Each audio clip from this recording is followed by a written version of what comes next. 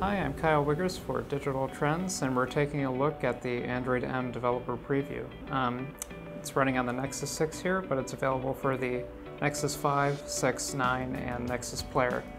Um, now the biggest change you'll probably notice in Android M is the app drawer.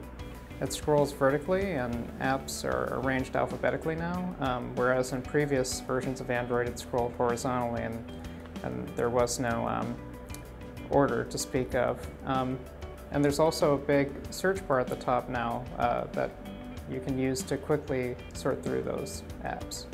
Um, there are also uh, improved volume controls. Um, so there's a big bar at the top for system-wide volume, but there are also uh, volume level controls for alarms and notifications there.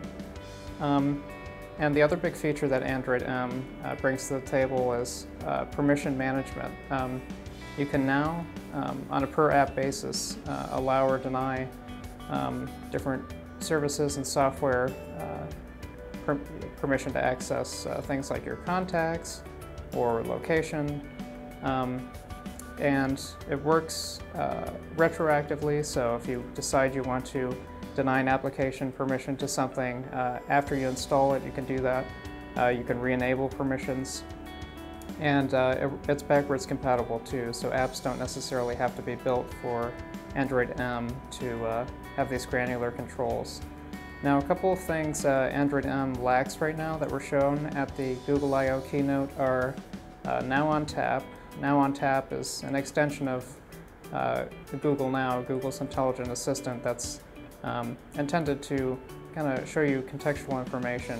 Depending on what's on the screen, you might see um, apps that uh, will assist you with a given task. For example, if someone uh, mentions a movie in, in a chat conversation, you might see IMDb or uh, Flixster. Um, that's not coming until Android M is officially released uh, in the coming months. Um, also absent is Android Pay. Uh, we don't know when that's going to make its debut, but right now uh, it's much like the old system. Uh, Google Wallet uh, hasn't changed substantially. It still performs much the, the same way it did in uh, older versions of Android.